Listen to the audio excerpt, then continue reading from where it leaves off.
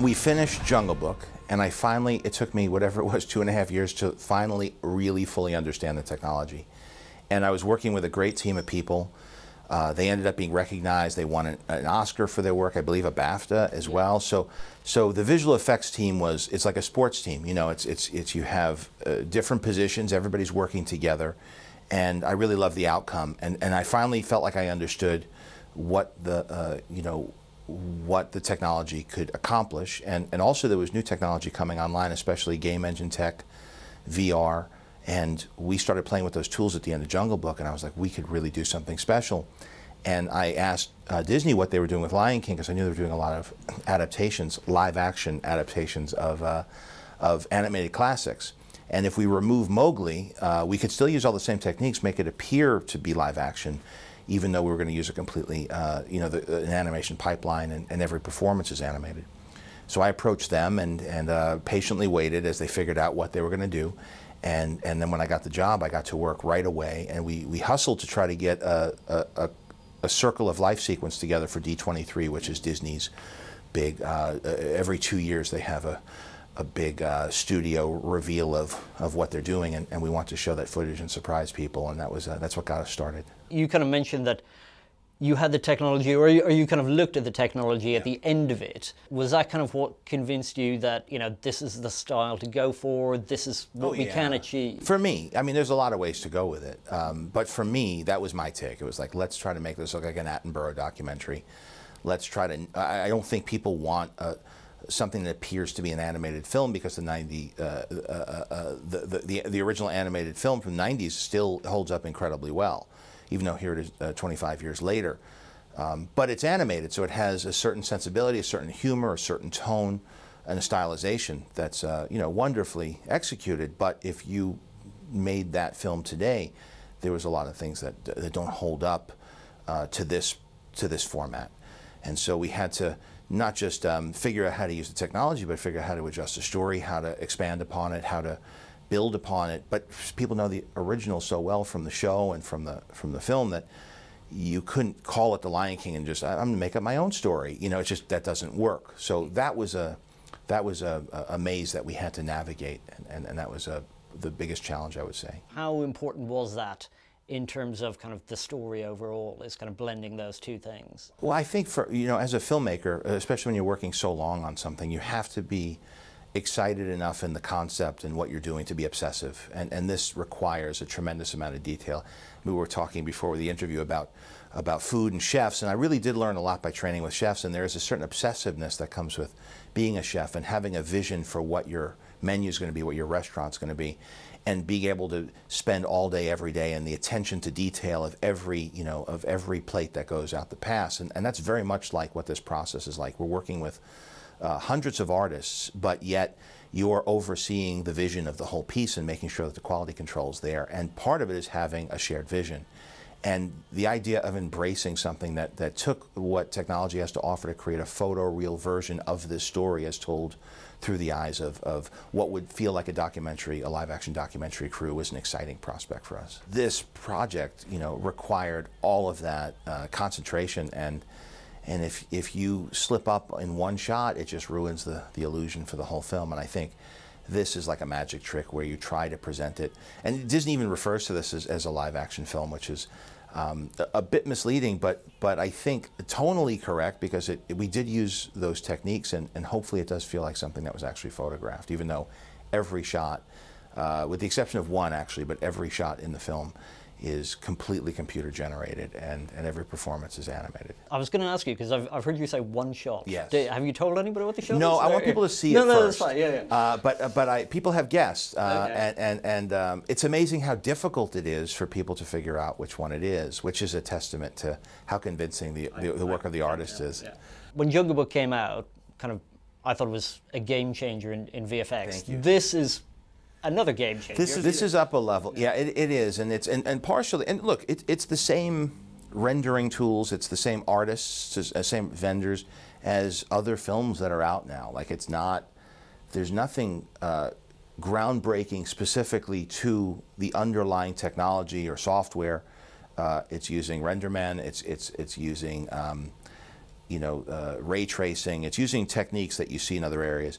But as I've learned about visual effects, a, a big part of creating that illusion is what you're asking it to do and how much time you're giving your artist to refine the work. Oftentimes it's rushed, oftentimes uh, it's, uh, it's being asked to do things that the technology doesn't deliver well. But there are certain things, uh, like I learned in Iron Man, that when it came to a metal suit back then, you can make very convincing hard surfaces. And so I, I went from being a Luddite to somebody who embraced CG some of the time. Now uh, it, I found it's convincing for fur, for water, for fire simulations, for environments.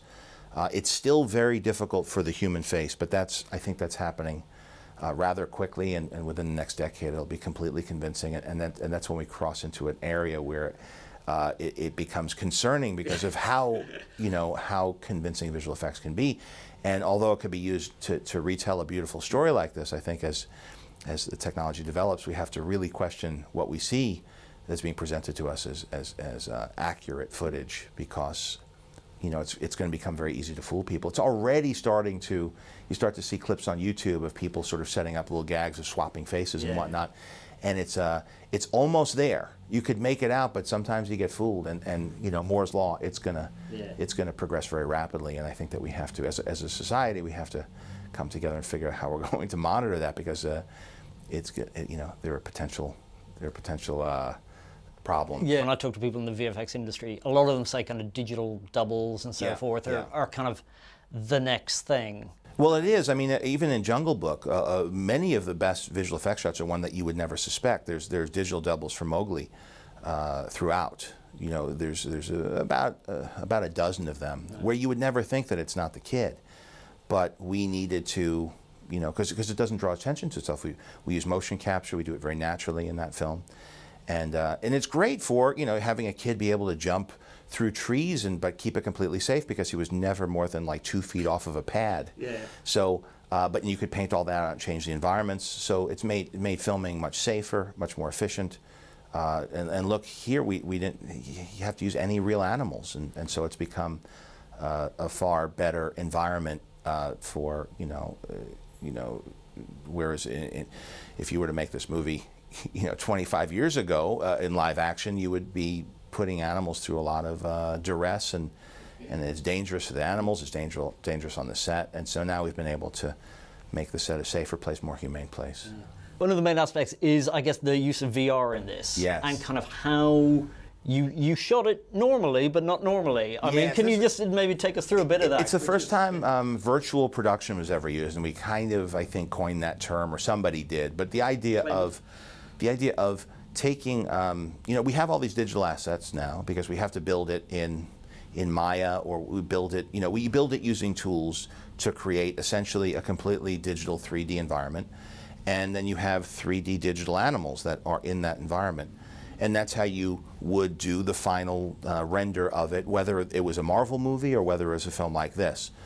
But since we already have those assets, we could bring that into this consumer facing VR system uh, using, in this case, the Unity game engine. And we built, uh, along with MPC and Magnopus, another company that we worked with, we built a, a, a bespoke multiplayer VR filmmaking game. And so, uh, because we now had this environment and we had VR, we could have people enter into the digital set and be able to walk around and look at it as though we were really on a scout and allowed me to hire somebody like Caleb Deschanel, who's a great cinematographer I've known for a long time, wanted to work with, but had no background in visual effects.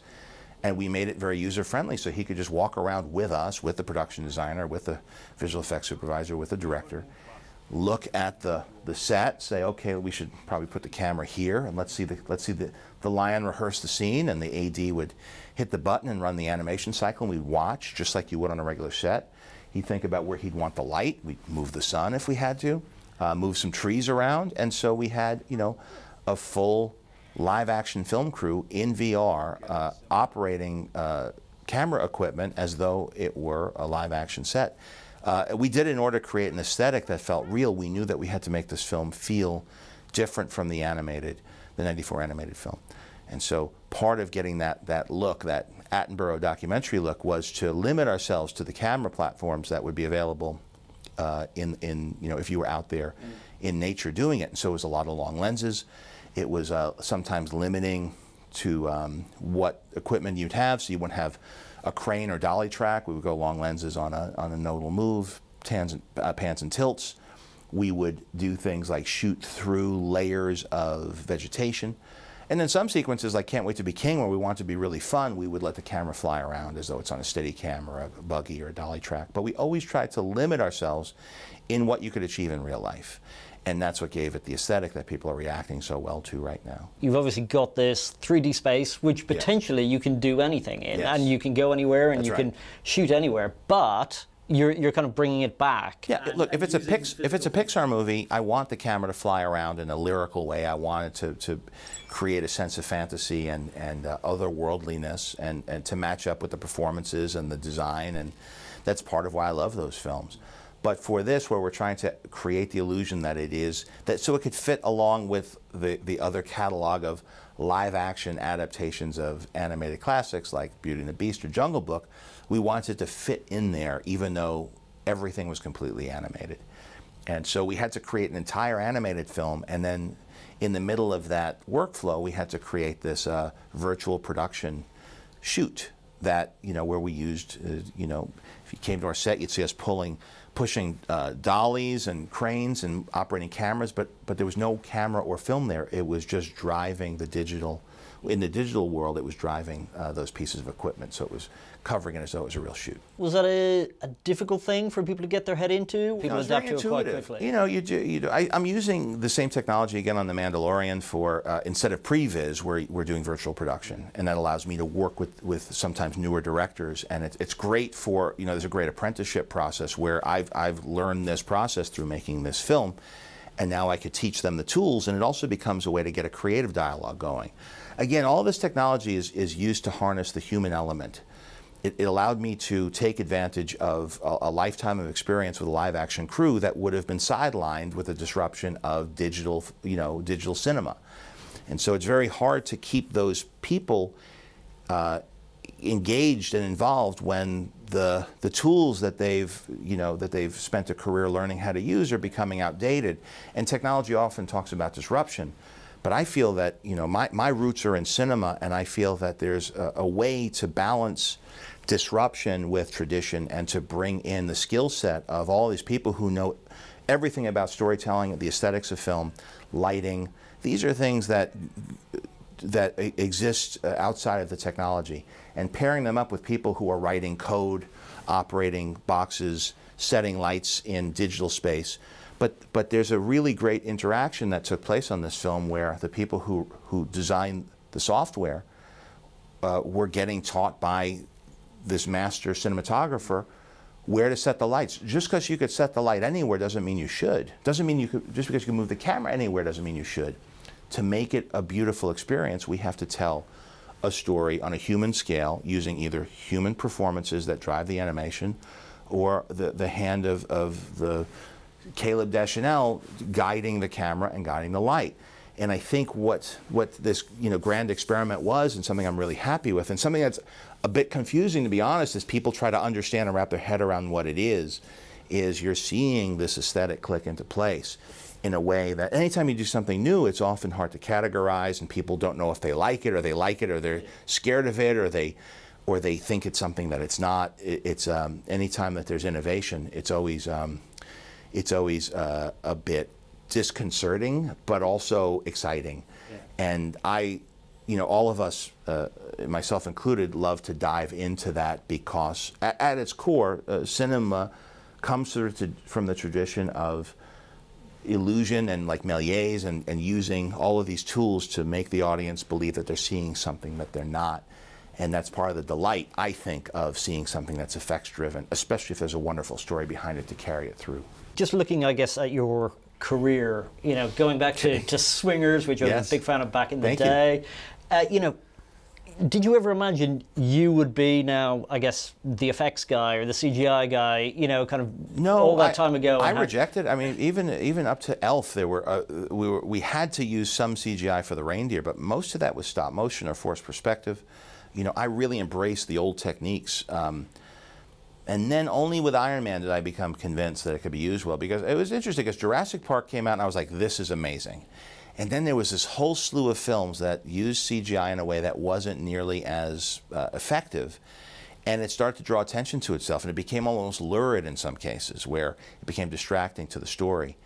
And and so I, but then like Avatar comes out and it's like transformative and 3D and IMAX and, and CGI and uh, digital characters. So I think it really it became on a case by case basis. And then you start to realize that that it's not that you don't like CGI, you don't like bad CGI. The good CGI you either don't notice or it it, it, it, it, it disappears in the story or something like Gravity.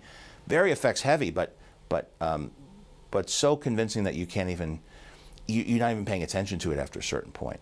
So I think it was it was I was always a fan of, of special effects. I always loved like Starlog magazine and seeing how they did the miniature work or stop motion or like Blade Runner, how the you know what the sets really were. I love that stuff as a fan, but I never thought that I would be the person telling those types of stories.